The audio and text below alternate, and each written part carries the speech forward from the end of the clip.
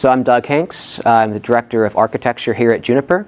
And up next, what I want to do is share with you guys uh, our new spine switch. It's the QFX 10000. Um, should I wheel it a little bit closer so you guys can see it? Or you want to?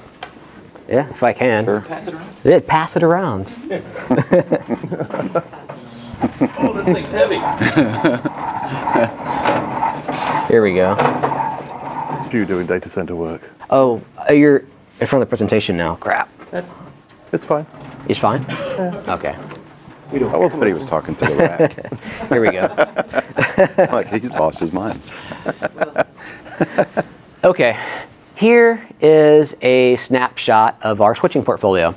Uh, so on the top, we have our spines, and we basically have this merchant silicon plus Juniper silicon switching strategy. I mentioned previously the, the spines, they're based on the Q5 Juniper silicon. This is the do anything silicon, whether it's MPLS, VXLAN, what have you. And then on our lease, we have our merchant silicon. Uh, today it's based on Broadcom, and we have everything from 10 gig, 40 gig, copper, fiber, what have you. We got the option for you. Um, so obviously, um, we got lots of different shapes and sizes of our spine switches from very small, which is 36 ports of uh, 40 gig, going all the way to our big monster over here, which is almost close to 500 ports of uh, 40 gig. Um, basically, in front of you is our uh, 10008. It has eight slots. Uh, pretty typical. You have your routing engines up top and your line cards. Um, However, one thing we did a bit differently here is we have something called an orthogonal direct, uh, direct connect. Because typically when your line cards uh, plug into your chassis uh, here, it goes into a midplane device. Uh, we got rid of that because we actually found the copper traces in the, in the midplane actually limit your uh, expansibility in your chassis. So when you plug in your switching fabric from the back, they, they uh, pair up to the line cards directly and there's no midplane whatsoever. So as, as long as you uh, as, as new line cards come out, whether it's 3 terabits per slot or 6 terabits per slot or 12 terabits per slot, as long as you have the correct switching fabric in the back, this chassis should last a very, very, very long time. So there's no built-in limitations in terms of the back plane uh, to this uh, particular device. Um, so I mentioned it is the do all switch, uh, IP, MPLS, VXLAN. Um, however, uh, I didn't really talk about the scale too much, but this thing is a beast when it comes to scale. Um, you can take a quick look here. It's basically uh, half a million uh, LPM in the fib and uh, half of that is for V4 and the other half is for V6. So a quarter million V4 and a quarter million V6 and the actual fib. The rib is in the millions, tens of millions. Um, we start talking about the um, the fib again is actually an upgrade. So if that is not enough for you, you have a license to go to 1 million overall. So you can imagine a lot of different use cases for this particular switch. It's not like your typical merchant silicon where you're going to have limitations are in, in the hundreds of thousands typically. So this is going into the millions. Um, tons of host routes, and we have a lot of buffer uh, in the switch as well. So about 100 milliseconds per port, whether it's 10 or 40 or even 100 gig, we have the same amount of buffer uh, per port. So pretty cool. Um, the technologies, uh, it's tri-speed, uh, it's 10 gig via a breakout cable, uh, obviously. Uh, it has native 40 gig. So I have a, a line card here. We call this a 36Q. Uh, it has natively uh, QSFP 28 ports, uh, 36 of those. Obviously, breakout cables can go into a 4 by 10 Or um, the next thing is that we, we have 100 gig uh, as well. So basically what we have, you, you can turn these ports into 100 gig. And I'll show you how we do that. We have little port groups, and for every three ports, we can turn one of them into 100 gigs.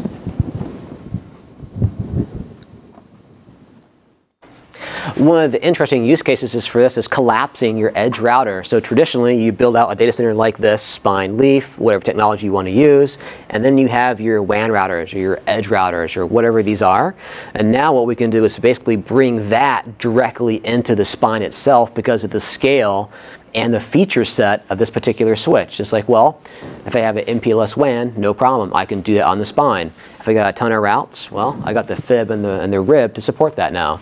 So any-to-any -any encapsulation comes in handy in a use case like this. Um, here's a quick matrix of the, uh, the, the rough scale of these boxes. Um, again, uh, 36Q uh, all the way to the larger chassis. Um, I put the MAC, uh, the fib, and the number of ACLs in here. Um, it is exactly the same on every single attribute except the, uh, the MAC. And um, we basically just put a, uh, a soft limit on that just because of the number of ports. It's like you're never going to learn 1 million uh, on a 36 port device, and that's why it didn't make sense. But otherwise, there's absolutely no difference from our smallest box to our largest box in terms of functionality, in terms of the buffer, the latency, the features. Uh, the this type of scale, it's exactly the same because it's based on that same chipset as the Juniper Q5 chipset. So no compromise there in terms of where you're going in this product family. Um, I'll, I'll pause there. That makes sense to you guys? Pretty cool numbers. Yeah. Okay. The hardware is really cool. Um, Back on the slide before on your design, um, do you guys, in your spine and leaf designs, typically connect the rest of the world, the rest of the stu- uh, stuff outside the data center to the spine? Because always before I've seen it to the leaves, to leaves. Right. Um, it's a good architecture question because generally, if it goes to a leaf, there is an assumption that you're connecting many different WAN routers into it, and you want to extend an expensive port to a cheaper port on the leaf. Um, however, if you have a scenario like this where it's just two or even four edge routers, it'll probably make sense just to plug it directly into the spine and not go through a leaf just because of the port density and the, the cost of it. Yeah, I guess I'd agree. If you just have two like that, then might as Yeah. well. But I've always seen it as spine is fabric, period. And Yeah, yeah. Else And we're, we're changing that up now because now you can connect directly into it and get more functionality out of it. But see, if you, if you plug this into a leaf, um, you couldn't start doing MPLS and the high scale and things like that because the leaf is based on you know a Broadcom chipset. Right, so if you're, if you're Right. collapsing the functions, then yeah. Right, right, into the spine, exactly. Yep. Okay. Um, here is the software architecture. Uh, I had a question before, you know, what version of Linux? It's uh, Wind River. Um, this is basically a, uh, a server. We, we've used uh, some of the latest Xeon processors in this. It's uh, uh, quad core. Um, there's 32 gigs of uh, DDR memory in here. We have SSD hard drives. It looks and feels just like a server. Um, and we put Yocto on top of that. And uh, we have Linux KVM running as well. So whether it's your, your big chassis like this, where obviously you have two different routing engines, and that allows you to do ISSU. Um, we can actually take our smaller box, which doesn't have redundant routing engines, but we get the same ISSU functionality through KVM because now we put our network operating system inside of a VM, and we got a backup uh, network operating system. We can do ISSU between these two virtual uh, routing engines, so pretty cool there. Obviously, you can expand that, put your own stuff on it uh, in a guest VM, or you can do containers, whatever you like to do. And we've pulled a lot of the uh, functionality out of uh, Junos that wasn't, you know, OSPF or BGP or core networking uh, technology, and we put that uh, directly on top of uh, Yocto. So we pulled out a lot of our chipset drivers uh, for, you know, Q5 or Broadcom or what have you. We put the drivers directly on top of Yocto Linux as a, an RPM module. And actually, all these daemons are RPM modules now. So whether it's the platform to control the fans, the FPGAs, or what have you, that firmware is now a daemon, as well as our analytics, the automation, and of course, any kind of apps that you guys want to put on top of that. Um, and then kind of round this out, I, I already talked about the, the CLI, the structured data, but some more detail I want to give you is that we do uh, a lot of our API through Apache Thrift. So regardless of what programming language that you guys like, Perl, C, Python, whatever, we, we give you IDLs uh, for the structured data, and you can use your favorite programming language to program the switch. And you can program the control plane or the data plane or any of the platform uh, things as well, such as fan speed and things like that. So we give you every bit, byte, and register that you really want on a switch like this. So on the um, the KVM piece, so when you do a OS upgrade, it just spins up a new guest OS. You apply the new patch or the new version Yeah. of the Junos, and It works All exactly the same way as a, a physical chassis with two routing engines. We upgrade one, we switch it over through um, uh, graceful restart and upgrade that one and flip it back over. So they're both the same uh, version. Is it possible to run two different versions and carve up the switch? Uh, you two know, if I want two versions of the Junos layer. Oh, yeah, Or yeah. even spin up my own version, Yeah, or you, is that you- on a you- white you box? can spin it up and put a different version on there and keep it dormant. Right. Um, switching to it would be dependent on what rev it is. You can't go too many revs ahead or too many revs behind. Right. So, yeah. you Again, not a real use case, but you know, something I might want to try. Yeah. Little sandbox thing. Yeah, thing. you never know. Can you say again, are you exposing REST APIs natively externally from the device? We are, yeah, yeah. So we'll, we'll, we'll do so up here through um, Apache Thrift externally. Yep. And you know, right now, all of the libraries you guys have, like PyEZ and things like that, are using netconf to come into the device. Yeah, the PyEZ will use uh, netconf. I didn't put it up here, but yeah, netconf will be up here as well. So there's lots of different ways into Yeah. this box. Yang, netconf, uh, JSON directly, or go through Apache Thrift. Can I'm sorry if you said this earlier, but you know, is the REST when you're using REST to the device, you know, is REST underneath still using netconf? Is it? I'm sorry. Say it one more time. Is when you're using REST to communicate to the device, like is the device just translating that back into netconf?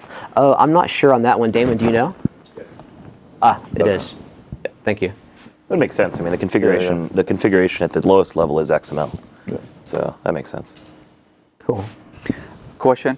Yeah. If I want to use this in a multi-tenant environment, is there any way to create multiple uh, contexts on it? Uh, context. Uh, no, we, we just do it logically through uh, VRFs and bridge domains. Okay. Yeah. Um, on the MX, we had something, or, or our, our MX router, we had a, a concept called um, LSYS, like a logical switch. We found out that although we had that for 15 years, really no one actually ends up using it. And we didn't want to waste engineering cycles to implement something that no one ever used into uh, a new switch. So we wanted to focus more on E EVPN and things like that instead. Yeah. Okay. Um, got about five more minutes, so let me give you a quick overview. Uh, this is our smaller uh, QFX 10000 switch. Uh, this is the 72Q uh, version, obviously 72 ports. Um, this thing has a oven-baked oscillator for uh, PTP, so you can act as a grandmaster for your entire data center. Um, and we also use that uh, oven-baked oscillator for uh, time stamping of packets. So we start talking about the analytics, the monitoring pieces. We can get very precise in terms of when a packet comes in and goes out of this box. So if you need that level of granularity, we have that built into the box, into the hardware itself. Um, I do want to mention the, uh, the port groups. I mentioned that we can basically take a, a 40 gig port and turn that into a native uh, 100 gig port. Uh, these is what the port groups look like, little, little Tetris type shape.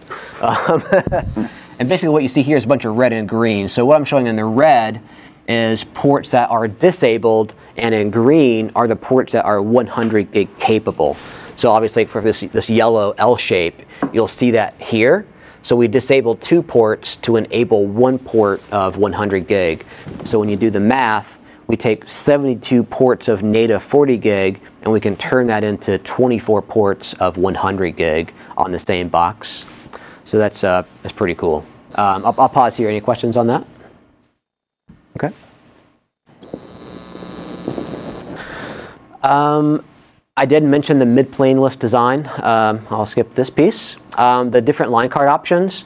Uh, we have this line card here currently installed. This is the 36-port uh, QSFP line card. Uh, the same rules apply to this line card. If you want 10 gig or 100 gig, you can uh, change those. So we uh, do tri-speed on, on the line cards as well. And here we have a 30 port one, a native 100 gig line card. And we can go backwards if you really need to, if you want to do 40 gig or, or what have you. So two options there. So this is how we get the uh, really dense 40 and 100 uh, gig port density out of this box at scale. Uh, the last line card is a, uh, a native 10 gig.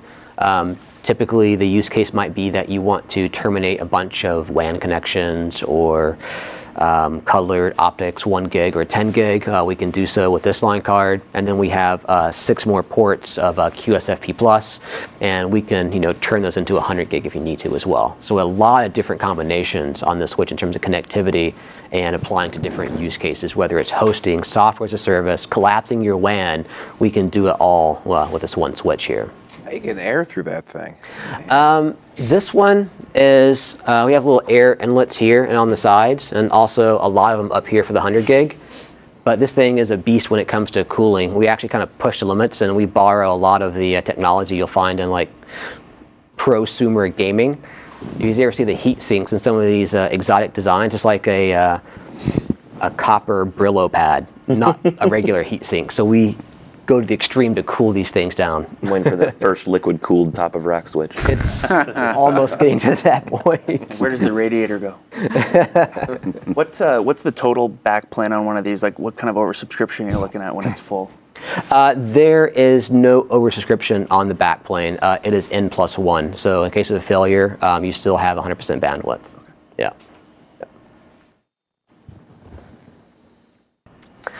Um, I've got two minutes. Let me figure out what I'd like to close on. Um, I like to close maybe on this point, um, and then go into the hybrid memory cube. So what we have today, where I talked about the uh, the routers, and what I've done is I try to map this against these uh, these attributes: buffer going all the way down to latency, and compare that to our QFX 5100 switch, which is a different chipset. So this is the Trio chipset we built in-house specifically for WAN applications, and this one is for access applications based on Broadcom. You'll see that we're really, really strong in the buffer features and logical scale in the WAN, which makes sense, and we're really, really strong down here on the latency and the throughput and the power efficiency where it makes sense as well, but not so much scale.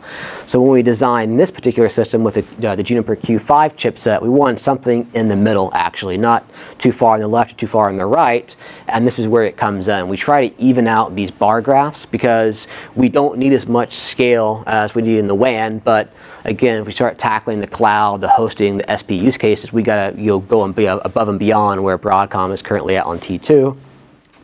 But we have to uh, bring up the throughput, the power, and the latency as well. So it's basically a, a, a meet in the middle compromise. Um, and we mentioned the hybrid memory cube. Um, typically what happens is when you build a switch, you need a lot of TCAM or you use a lot of DDR3 memory. But in this case, if you want to go above, above and beyond traditional TCAM limits or DDR3 limits, we need a new memory module. So basically what we've done is there's a, uh, a vendor called uh, Micron, and they basically build this 3D stacked uh, memory. And you can kind of see here, uh, it's super fast, it's super small, and the reason that we did this is, on this next slide, is if we used regular DDR3 memory, um, it's require a lot of DDR3, like, like 90 DIMMs on a line card. It's just not feasible in terms of the uh, number of pins and the power and the surface area. So you, you take a look at this, it, the DIMMs would take up the entire line card, and nothing is left for ASICs or optics or any of that. So we had to move towards HMC to actually accomplish this. So when you get a lot of features, a lot of scale, and a lot of buffer, we had to get away from traditional technology and go towards uh, newer technology like HMC. So I'm at the top of my hour. Um, I'll take any more final questions and I'll uh, leave you with a summary. Um, it's to do anything switch, IP, VXLAN, what have you. A lot of different use cases, IT as a service, software, and hosting into one switch. Uh, yes, it is shipping. yes, today it's shipping. Sorry, I thought, I thought that was known, but I'll, uh, yeah, it's shipping today.